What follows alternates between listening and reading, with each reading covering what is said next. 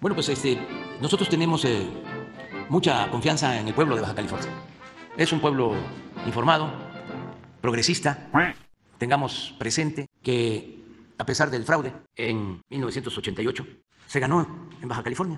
Ganó el ingeniero Cárdenas, le ganó a Carlos Salinas. Luego ahí se empezó a establecer la alianza entre Salinas y el PAN y Salinas ordenó que se respetara el triunfo de Rulfo. Fue la primera gubernatura que gana la oposición. Pero tuvo que ver con un acuerdo. Se llamaban concertaciones.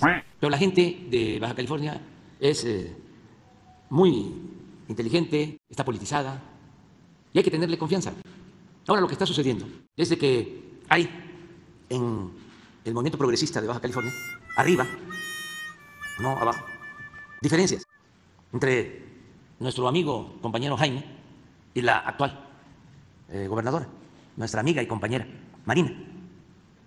Entonces, como tienen diferencias, esto ha llevado a que se presenten acusaciones en un sentido o en otro.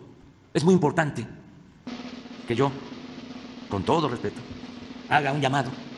Yo creo que la gente de Baja California va a estar conmigo a la unidad. Para los políticos que estamos en este proceso de transformación, hay una palabra clave, bendita, salvadora. Esa palabra es pueblo.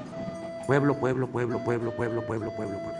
Yo voy a ir ahora a Baja California a hacer un recorrido con la gobernadora, con Marina, para apoyarla, respaldarla y ayudarla. También quiero dejar de manifiesto que no voy nunca a olvidar el gran apoyo que significó para nuestro movimiento de Jaime Bonilla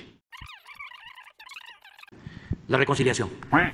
Eso es lo que hay que buscar en eh, Baja California. Y voy a ir a eso. Por ejemplo, la presidenta municipal de Tijuana, Montserrat, es originaria de Oaxaca. No puede ella este, estar en contra del pueblo de Oaxaca. ¿Qué es lo que pasa? De que están confrontados. Entonces hay acusaciones de un lado y de otro. La política no es maniquea, no es de buenos y malos.